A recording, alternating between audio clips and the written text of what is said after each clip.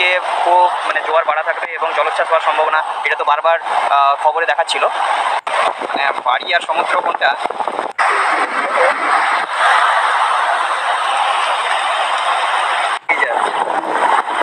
এটা হচ্ছে আইলা ঘরের এখানে সমুদ্রের জল এইভাবে ঢুকে যাচ্ছে। জোয়ারের জল আসছে, ঢেউ আসছে। এরকম একটা মাছ ধরেছি। ছাব্বিশে জুন, যে আজকে জলোচ্ছ্বাস হওয়ার কথা ছিল, খবরে বারে বারে দেখাচ্ছিল। কিন্তু এই যে মন্দারমণি এরিয়া মন্দারমণি এবং দক্ষিণ পুরুষোত্তমপুর এরিয়াটা এখানে আমাদের গ্রামের পাশাপাশি প্রচুর ক্ষয়ক্ষতি তো হয়েছিল জলের কারণে ইয়াস এখনও ছবি ছবি সব পুরো স্পষ্ট এবং সব জায়গাতেই স্পষ্ট ছবি দেখা যাচ্ছে। এবং এখানে পাশাপাশি এরিয়াগুলোতে খুব কঠিন পরিস্থিতি। এখন এখন আবার জল জল খুব বাড়া মানে জলের পরিমাণ খুব খুব প্রচুর পরিমাণে জল হয়েছে। মানে জোয়ার খুব উঁচু থেকে আসছে এবং পাশাপাশি এরিয়াগুলো দেখতে পাচ্ছেন। আর ঢেউয়ের ঢেউয়ের প্রকোপটা দেখুন। ঢেউয়ের প্রকোপটা দেখলেই আপনি বুঝতে পারবেন যে, ঢেউয়ের আবহে আজকের প্রকৃতি পুরো উন্মাদ হয়ে আছে। এমনিতেই ঢেউ খুব প্রকোপ চলছে। আর পরশু গেছে পূর্ণিমা, কাল গেছে প্রতিপথ, আর আজকে একাদশী। তো আজকের দিনে এই যে ঢেউগুলো খুব মানে আজকে যেহেতু ছাব্বিশ তারিখ, ছাব্বিশ তারিখে খুব মানে জোয়ার বাড়া থাকবে এবং জলোচ্ছ্বাস হওয়ার সম্ভাবনা, এটা তো বারবার খবরে দেখাচ্ছিল। তো তার জন্য এই ভিডিওটা করা আজকে। তো এই যে ইয়াস ঝড়ের, ইয়াস ঝড় নয়, ওটা তো বন্যাই ছিল। তো নোনা বন্যা, নোনা জলের বন্যা। তো ইয়াস ঝড়ের প্রকোপে এই যে যত গাছপালা সব কিছু সব কিছু নষ্ট হয়ে গেছে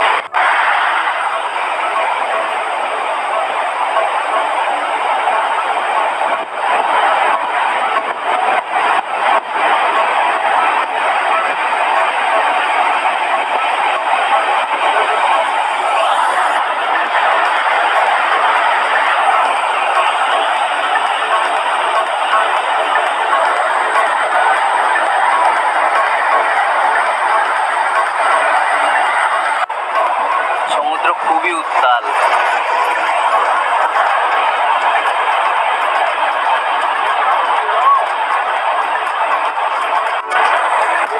ইয়াস ঝড়ের সময় এই যে বাড়িটা দেখছেন, বাড়িটা চারিদিকে পুরো ঘেরা ছিল এবং একটা করে বারান্দা ছিল। বাড়িটা এখন ন্যাড়া হয়ে গেছে। আর পাশাপাশি এই যে জলের দেখছেন জল এখান দিয়ে পুরো পুরো খালের মতো হয়ে জল ঢুকেছিল।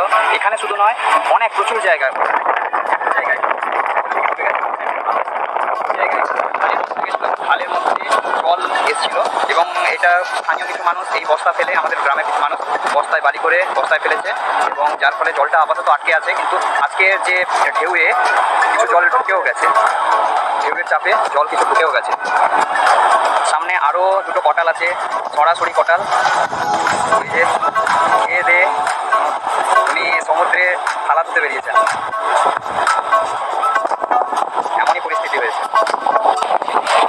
বাড়ি আর সমুদ্র কোনটা?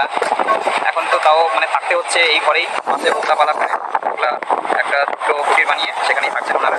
এরকম প্রচুর বাড়ি আছে, প্রচুর ঘর বাড়ি আছে ওই যে সামনের বাড়িগুলো। এখানে স্থানীয় কোনো বাড়ি বাদ যায়নি।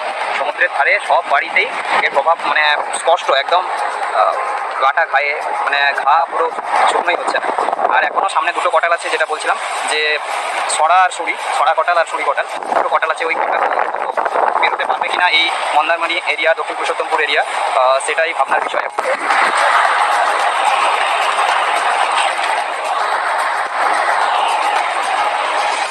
সব জায়গাতেই এই যে বাড়িগুলো ন্যাড়া হয়ে বসে আছে। বাড়ির ওপরে চাল নেই বাড়ি চারিদিকে খোলা। খোলা আকাশের নিচে মানুষকে থাকতে হচ্ছে।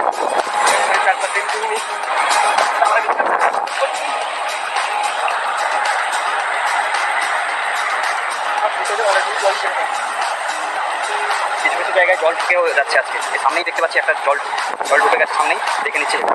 এই যে এখানে জল ঢুকে যাচ্ছে। মাছও ঢুকে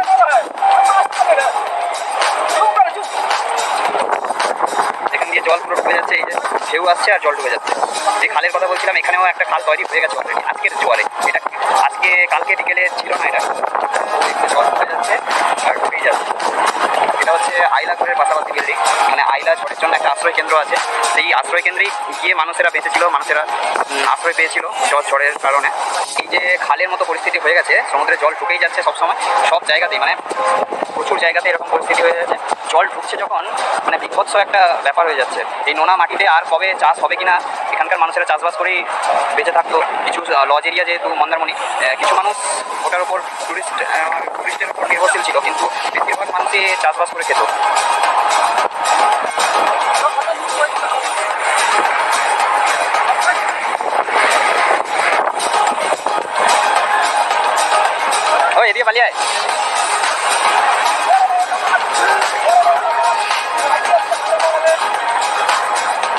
জল ঢুকতে শুরু করেছে, এবার খাল হতে বেশি টাইম লাগবে না। সরকারের তরফ থেকে কোনো কিছু স্টেপ নেয়নি এখনও স্টেপ নেওয়া উচিত যে আমাদের এই এরিয়াটাকে বাঁচানোর জন্য কোনো গার্ডওয়াল করা বা কোনো কিছু কোনো সুরক্ষার ব্যবস্থা করা, সেটা সরকারের পক্ষ থেকে নেওয়া উচিত। কারণ মানুষেরা এখানে প্রচুর মানুষ তো ঘরহীন হয়ে যাবে। সেটার জন্য দেখা উচিত।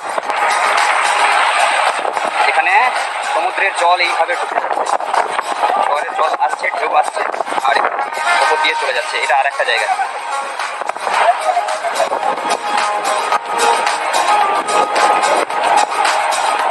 এমনিতেই আজকে খুব একটা বেশি ঢেউ নেই কিন্তু এতেই এরকম অবস্থা।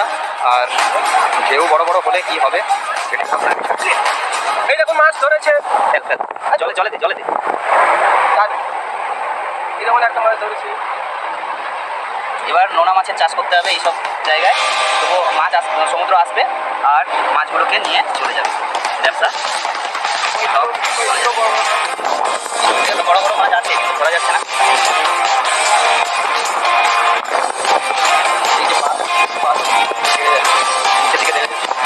কেটে যাচ্ছে। যার জন্য এই যে বড় গাছ অর্জুন গাছের মতো এত একটা বড় গাছ।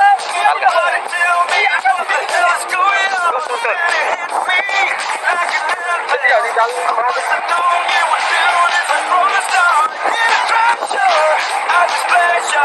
ওইখানে মাছ ধরছে সবাই মিলে। সমুদ্রের জলে মাছ প্রচুর চলে আসছে, প্রচুর মাছ চলে আসছে। যার জন্য সবাই মাছ ধরছে। এখানে এখানে এইসব জায়গাতেই চাষবাস হতো। টমেটো, লঙ্কা, পটল মূলো বাঁধাকপি, ওলকপি, বিভিন্ন চাষ করতো এইসব জায়গায়। কিন্তু এইসব জায়গার যা অবস্থা, এখন পরবর্তীকালে চাষ করতে পারবে না মানুষেরা। ওই দূর দূর পর্যন্ত দেখা যাচ্ছে ওইগুলো গ্রামের মধ্যে, কিন্তু ওইগুলো সব সমান হয়ে গেছে। সমান হয়ে গেছে মানে সমুদ্র তলে সমান হয়ে গেছে। সমুদ্র দেখ- দেখছেন, সমুদ্র যেই সমতলে মানে যেই উচ্চতায়, আর গ্রামটাও সেম উচ্চতায় এবং কোনো পার নেই। অবশ্যই আমরা জানাতে চাইছি যে আমাদের কিছু সুরাহা করুন, কিছু ব্যবস্থা করুন যাতে মানুষদেরকে মানে আমাদেরকে এই স্থান থেকে ছেড়ে না চলে যেতে হয় আমাদের গ্রাম ছেড়ে বা ভিটে মাটি সব ছেড়ে চলে যেন যেতে না হয়। দয়া করে আপনারা কিছু করবেন মানে সরকারের পক্ষ থেকে মানে সরকার কিছু যেন করে সেই আবেদন আমাদের সবার পক্ষ থেকে।